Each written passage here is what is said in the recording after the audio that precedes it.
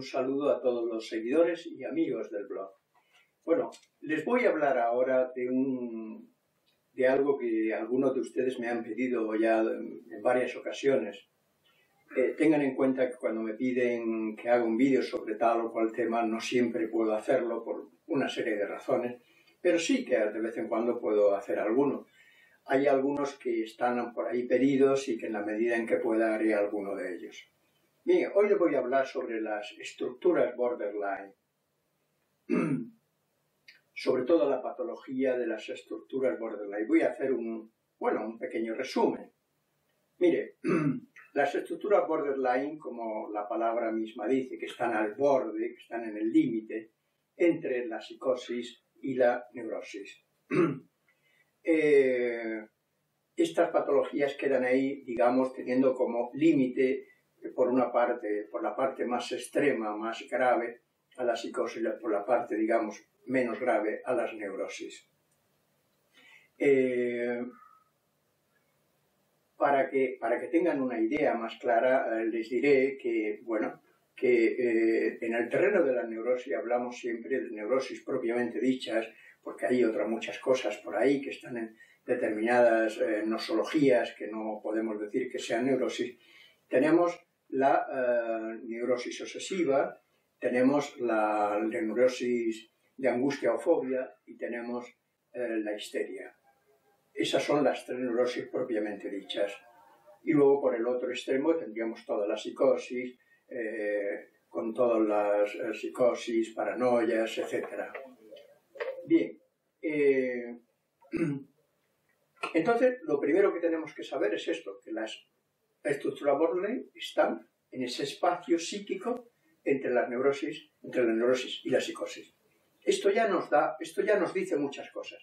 Porque claro, si ponemos a las estructuras Bordelais en el centro, en, en ese espacio entre una cosa y otra, podemos decir que están cerca de una cosa y cerca de otra. Digamos, por un extremo están cerca de la neurosis y por otro extremo están cerca de la psicosis, con lo cual podemos decir que tienen de alguna forma algo de neurosis y algo de psicosis, por decirlo también de esta forma. Mire, eh, una cosa que caracteriza claramente a las, eh, por lo menos todo lo que les estoy diciendo, no se lo estoy diciendo pensando en ningún autor, se lo estoy diciendo partiendo de toda mi experiencia clínica. Este resumen eh, es una, una síntesis de, cosas que yo he visto en este tipo de estructuras y que les doy un pequeño resumen. Mire, una cosa de estas estructuras es que el yo, el yo no se ha podido construir bien. Está ahí como un yo que está como avasallado, que no se ha podido construir bien, por una parte, porque el yo tiene un montón de funciones, como he dicho otras veces, yo tiene la función de observación, la memoria, el análisis, la síntesis, la decisión, la acción, es decir, todo aquello que tiene que ver con la visión hacia adentro y la visión hacia afuera y una especie de relación de una con otra para poder estar en el mundo y en la vida. Esto es lo que da a un ser humano una orientación y una, digamos, un saber estar en un lugar determinado eh, con su vida y en el mundo y en la relación con los demás, con todas las relaciones que establecemos a la hora de nuestra vida, un yo bien, digamos, bien edificado, bien construido, pues es capaz de hacer todas, de llevar a cabo todas esas funciones, llevarlas relativamente bien. En, el, en la estructura borderline, el yo está asediado, avasallado, invadido, como alguna vez he dicho, es como un castillo que está asediado por poderosos enemigos y que constantemente está entre, entre el amor y el odio, eh, con emociones eh, como en un, en un, mar de afectos. Eh, en estos casos, digamos que la estructura borderline es como un mar de afectos, de amores y de odios, de deseos encontrados, de impulso de una clase, de otra, de desencuentros y deseos de encuentro es un, es un hervidero de sentimientos, de afectos. Eh, entonces, esto es un poco una característica muy claramente de las estructuras un yo víctima que no está bien construido, que está a medias construido, que está como un edificio que se haya quedado pues como diría yo, con la estructura ahí hecha y algún tabique por aquí, otro por allá, pero así un poco desarbolado. Eh, y esta es una característica. En, la, estructura borderline hay, un, hay una, una relación que ha sido rota casi desde el primer momento. ¿Qué quiere decir rota? Quiere decir que las expectativas del niño, del ser del niño, del anhelo del niño, del deseo del niño, no ha encontrado un objeto adecuado para poder relacionarse con él y establecer una relación adecuada. Muchas veces esta relación ha sido, eh, ha sido vivida mm, desde el lado del abandono, desde el lado del desamor, desde el lado de, de, unos padres que no han sabido darle a ese niño, a esa niña, pues ese cariño, ese afecto, esa, ese haber investido a ese niño de deseo, de amor y haber irlo poco a poco con su, con su afecto, con su cariño, con su escucha, con una relación adecuada que se hubiera ido construyendo.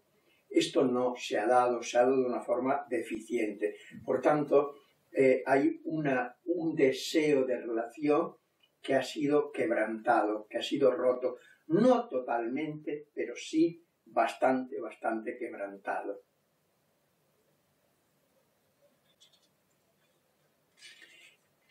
El mundo externo es vivido en este tipo de estructura, el mundo externo es vivido desde dentro. Es decir, no es que la, personalidad borderline no vea el mundo externo, sí ve los objetos del mundo externo en su, en su configuración y en su, digamos, movimiento. Pero, sin embargo, todo ese mundo externo está invadido, se ha proyectado sobre un montón de vivencias que le dan a ese, lo subjetivizan, lo conflictualizan, le, lo invisten de ese conflicto fundamental y esencial que hay dentro de, de estas personas, que es el conflicto, diría yo, del desamor y del déficit afectivo. Hay un déficit claro, afectivo, que mm, estas personas han vivido de una forma dramática, dramática. Por tanto, el mundo de fuera está como e-, ese mundo interior se lleva afuera, se proyecta afuera, se desplaza y se proyecta afuera y por tanto fácilmente eh, una persona borderline puede eh, convertir a alguien en un enemigo, puede eh, sentir rabia hacia el otro, puede sentirse abandonado por el otro, puede tener una ilusión desbordada hacia alguien que no tiene fundamento suficiente para que esa persona tenga esa ilusión hacia ella, o puede interesarse con mucho ardor hacia un proyecto que a lo mejor no tiene mucha base, mucha base real. ¿eh? vean ustedes cómo el mundo interno se ha proyectado sobre el mundo externo. Esto es un grave conflicto, todo esto que lo dicho, porque claro, si el mundo externo no lo podemos ver como un mundo en sí, con una realidad propia, con una entidad objetiva diferente a nuestra entidad de sujetos y nuestra entidad subjetiva, pues estamos continuamente produciendo en nuestras relaciones y en nuestra vida una gran confusión. Por tanto, el mundo del borderline es un mundo de confusión. Confusión. Por esta razón.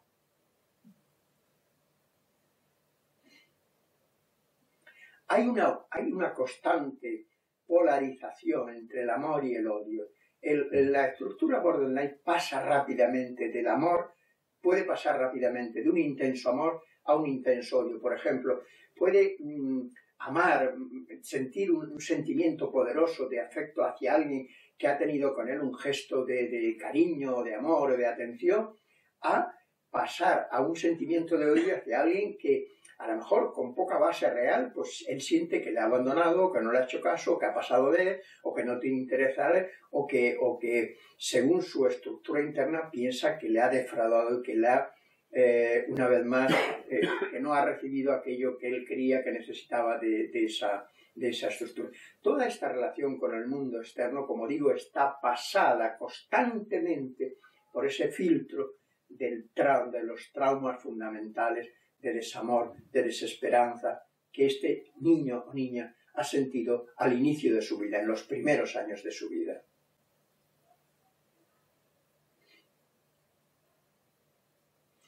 En el, por ejemplo, para decir, en, el, en la estructura borderline, no es lo mismo que en la psicosis. El, psicótico, el psicótico ha dado un paso más allá de todo esto, un paso más, más patológico.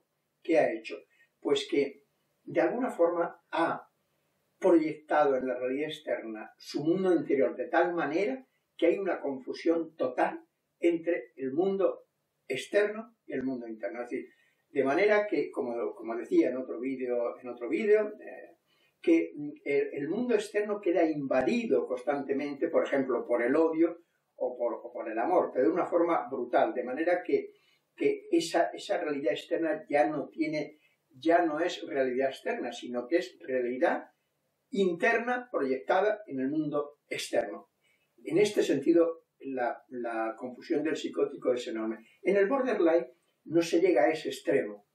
Hay una, hay una especie, digamos, Así como en el, psicótico hay un delirio, claro, un claro delirio, un claro delirio en todo esto, en, el, en la personalidad borderline, digamos que hay una aproximación al delirio, pero no un delirio en el sentido eh, sistemático y claro de la palabra, sino que hay una especie de confusión, más que delirio es confusión, confusión. Eh, eh, entonces, esa es la diferencia, delirio y confusión.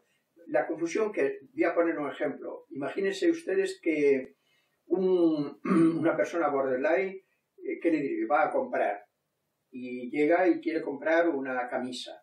Bien. Imagínense que hay una dependienta. La dependienta la atiende muy amablemente, es cariñosa, es agradable, eh, y, esta persona sale de, la tienda diciendo, qué persona más maravillosa, y si va con alguien se lo dice y la alaba y siente así como si lo hubieran hecho un regalo enorme y le hubieran dado eh, el mundo, ¿no? Vean ustedes lo exagerado también de su sentimiento en el sentido positivo, como que ellos, ese, ese, esos gestos, ese cariño, esa atención, la llevan a un grado muy intenso y muy elevado. Y por tanto, invisten de mucho amor y de mucho afecto a esa persona. Pero puede pasar al revés, que van a otra tienda a comprarse unos pantalones, imagínese que hay un independiente y llega este señor allí y el otro ni siquiera dice buenos días, ni se acerca a decir qué quiere usted, sino que este anda por allí perdido y el otro, el, dependiente, ni siquiera... Y entonces empieza a sentir un odio hacia ese dependiente porque dice, mira, el tío este está ahí, no me hace ni, ni caso, pasa olímpicamente de mí y, siente un odio desbordado y desbordante hacia esa persona, qué bueno que sí es verdad que no le está atendiendo bien. Es verdad que no le está atendiendo bien, claro que sí, pero no es tampoco para que proyecte sobre él todo su odio. Una persona normal lo que diría sería, hombre, este hombre se está pasando, este hombre no es buen dependiente, este hombre no debería estar dependiente.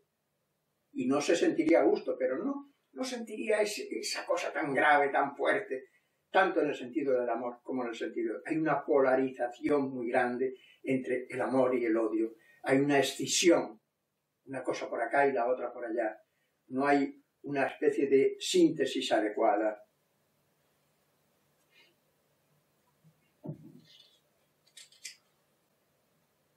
En, el, en, el, en el borderline lo que está realmente roto y herido es lo que yo llamo el yo primordial. El yo primordial es la estructura, la organización que a partir del ser se crea en el ser humano en los primeros años de la vida, digamos los cuatro, cinco, seis primeros años. Esa estructura, eso que se crea en el ser humano, en la estructura borderline, está como, como muy, mm, a ver, como que no se ha construido, es que la palabra mejor sería, está, como os he dicho, como un edificio donde estuviera un poco la estructura, pero mal hecha, y hubiera medio tabique por allá, no sé qué por ahí, todo lo mirara y dijera, bueno, ¿esto qué pasa? Esto está un poco... ¿eh? Entonces, esto sería un poco... Eh, eh, el problema está en que ese yo primordial no se ha creado, no se ha organizado. Cuando hablamos de organización, una organización psíquica es un sistema de representaciones de ideas de afectos, de deseos, de relaciones que han sido objetivamente buenos y que han creado entre las expectativas del ser y la realidad externa, han creado un punto de unión muy bueno y por tanto la persona, niño o niña, ha podido interiorizar, interiorizar un montón de, de relaciones que a su vez han creado una serie de objetos internos relacionados. Muchas veces se habla de objetos internos. Más que objetos internos así tal cual, tenemos que hablar de relaciones internas, de relaciones interiorizadas, de amor o de odio, pero relación. Entonces, en, la estructura no se ha creado esa organización. Por tanto, eh, ha quedado todo como disparatado, como digo, y por tanto el yo está como está como, como un barquito pequeño en medio de una tormenta grande que las olas le pegan para acá y para allá y, está a punto de naufragar. No naufraga del todo, pero siempre está ahí eh, al punto de naufragar. No es lo mismo que un barco potente que, bueno, con un buen capitán que va por el mar y sí, puede haber una tormenta, pero coge su rumbo y llega a puerto.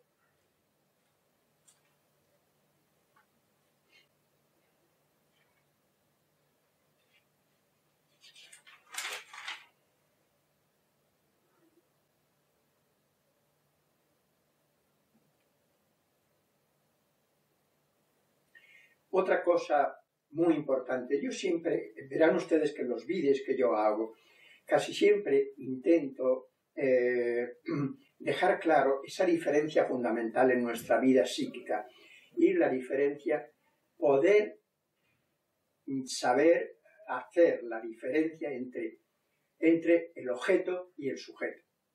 Usted es el sujeto. Lo que hay fuera es el objeto. ¿no? El objeto puede ser una persona, pero puede ser una situación, puede ser un árbol, puede ser un coche, puede ser un grupo de personas, puede ser todo lo que hay fuera. cuando, sabemos, hacer claramente, cuando podemos saber, sabemos hacer claramente esa distinción, esa diferenciación, y podemos establecer relaciones adecuadas entre el sujeto y el objeto, dándole a cada uno su entidad y su identidad propia, su entidad, su identidad y su identificación propia. Entonces, establecemos buenas relaciones, porque no hay confusión. No hay confusión. Esto en la estructura borderline no se da. Hay continuamente una especie de introducir eh, el mundo interior en el objeto. Por tanto, el objeto en sí no llega a tener identidad propia.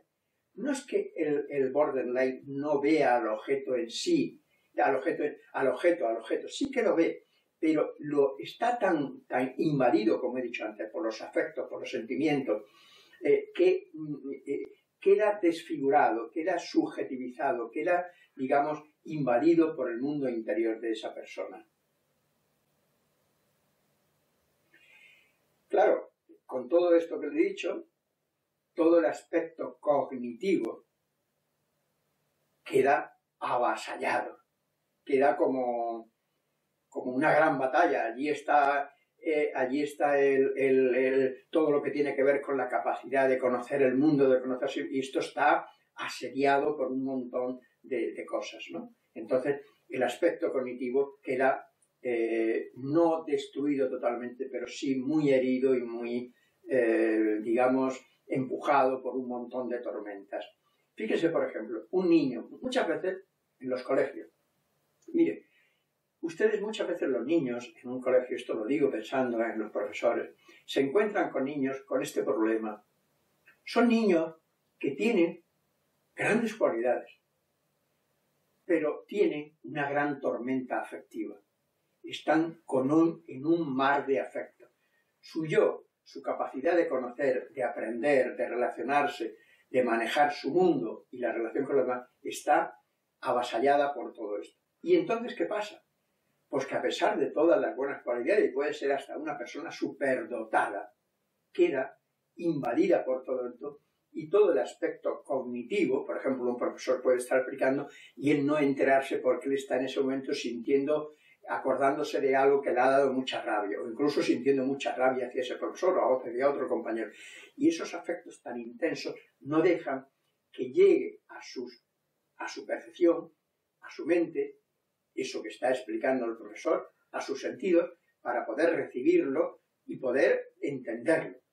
Todo eso queda completamente, eh, digamos, conflictualizado por esos por ese mundo interior de confusión y de tormento y de conflicto.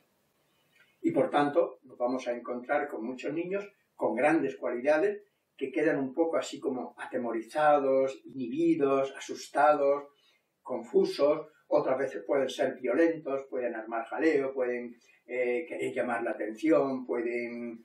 ¿eh? Habrá un montón de conductas que pueden entrar dentro de este, de este eh, complejo complejo mundo de la estructura borderline.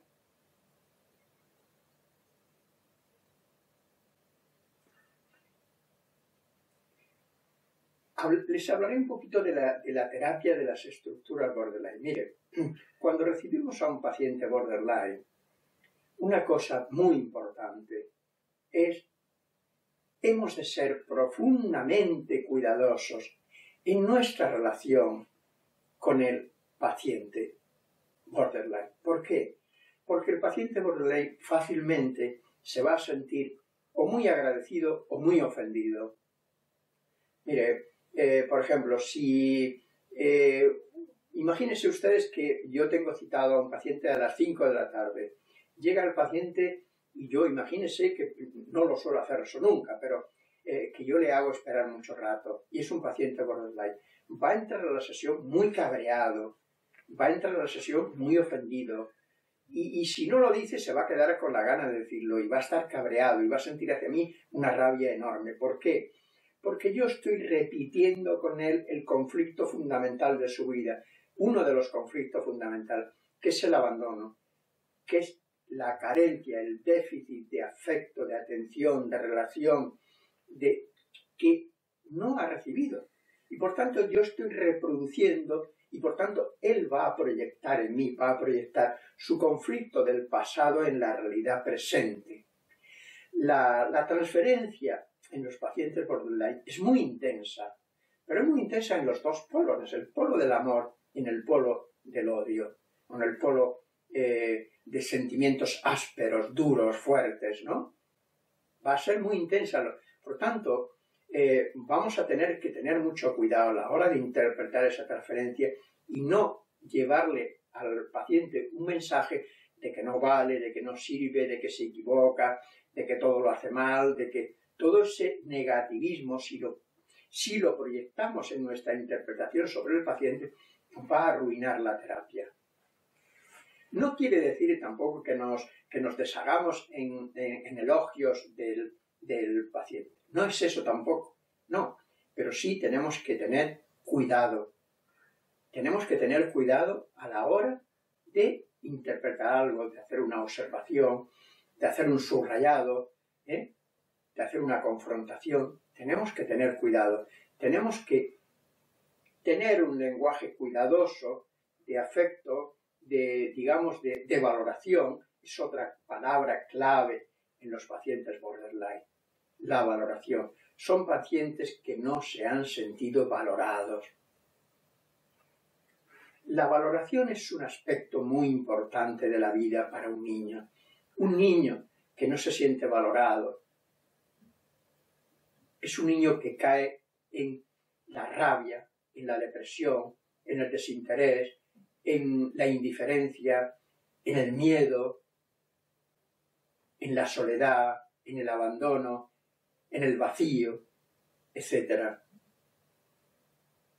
Todas estas cosas, palabras que he dicho, son palabras muy propias del paciente borderline.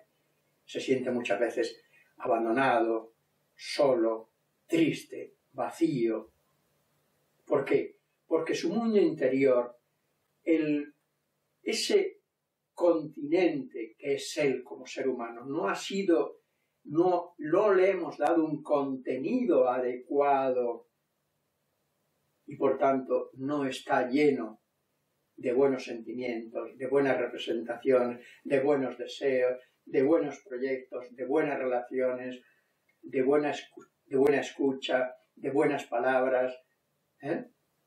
Por tanto, ojo a la transferencia y la contratransferencia, porque este tipo de pacientes puede producir en nosotros sentimientos muy fuertes, porque puede tener eh, momentos de ira que, pues que, ¿cómo digamos?, que, que, nos hace tambalearnos en nuestro sillón, ¿no?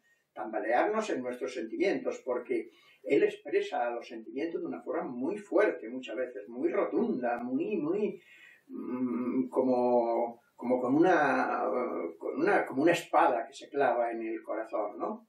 Por tanto, eh, el, el, psicoanalista y o el terapeuta va a tener que estar, va a tener que haber hecho un buen análisis durante mucho tiempo para conocerse muy bien a sí mismo y poder saber analizar bien y controlar y llevarla a buen puerto su contratransferencia, aquello que le hace sentir el paciente con, toda su, con todo lo que dice, lo que hace o lo que no dice o lo que no hace.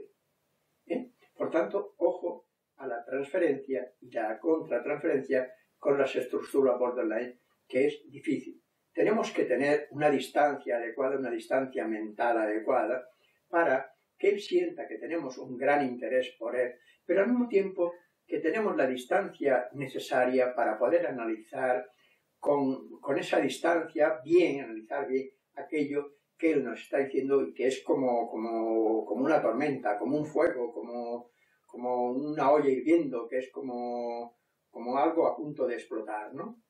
¿Eh? eh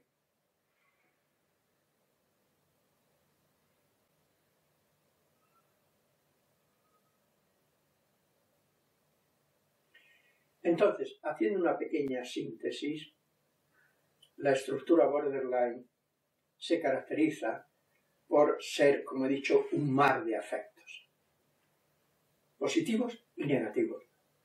Y en ese mar de afectos está siempre.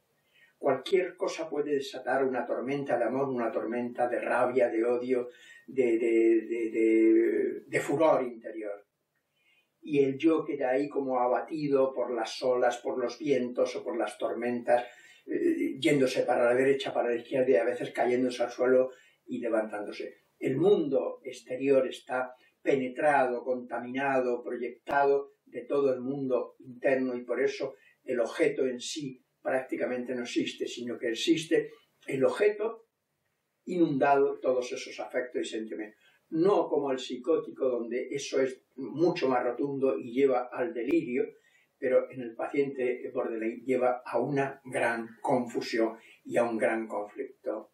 Y luego, como digo, eh, tenemos que tener eh, en nuestras relaciones, en las relaciones normales de ustedes, cuando vean una persona eh, con este tipo de estructura de personalidad, lo que han de hacer es no dejarse contaminar por esos afectos, sino hacer un poco de distancia, pero no para alejarle de lado, no, sino para poder tener la distancia suficiente para verle como un ser en sí que está conflictualizado, pero que nosotros podemos entender de alguna forma también esos conflictos y no meternos dentro del fuego, sino quedarnos fuera del fuego para poder ver el fuego y ver que es fuego y que nosotros no debemos entrar ahí, sino que debemos tratarle con respeto. Por supuesto, tener relación con él, pero eh, sabiendo lidiar esta, este, este, este tipo de relación con este tipo de personas. Eh, bueno, pues nada más. Esto sería un breve esquema, un breve esquema de... Eh, podríamos haber dicho muchas cosas sobre, sobre los distintos, por ejemplo, sobre el inconsciente o sobre... Pero, bueno, yo creo que con esto ustedes tienen una, eh, una pequeña visión. También les digo otra cosa que se me ha olvidado. Vamos a ver. Algunos de ustedes en el blog me hablan de, veo que pueden tener unas estructuras mm, de este tipo. Y es, esto es muy jodido, dicho así claramente. ¿eh? Ojo con esto. ¿eh? Esto no lo van a superar fácilmente, ni muchísimo menos. Van a tener, tienen que ayudarse de alguien y tienen que hacerlo sabiendo que esto va a ser un trabajo duro y de tiempo. Olvídense de los obra milagros. Olvídese de estos que por ahí hacen la propaganda diciendo, no, nosotros con una sola, pocas sesiones lo curamos todos, somos maravillosos. No, si lo único que le falta decir es que hacen milagros y que convierten el agua en vino. Huyan ustedes de estos obra milagros porque lo único que están demostrando con su propaganda y con su publicidad es que no tienen ni idea. Un terapeuta serio no dice esas cosas, no lleva engaño a la gente. Las cosas son muchas veces difíciles y a veces muy difíciles. Otras no, pero no podemos engañar a la gente. Cuando uno tiene conciencia clara de la psicopatología, es como un médico que dijera a los pacientes, eh, un cardiólogo a los pacientes graves del colegio, no, esto, esto no pasa nada, esto se le quitará tomando unas, unas pastillitas así de, no sé, pues de caramelitos. Pues no, pues no, no. Entonces, señores, tenemos que, que, tener una visión clara de todo esto. Y si ustedes se ven en este, con este problema que creen que son una estructura borderline, no se, no se culpabilicen porque estas cosas no, no han sucedido porque sí.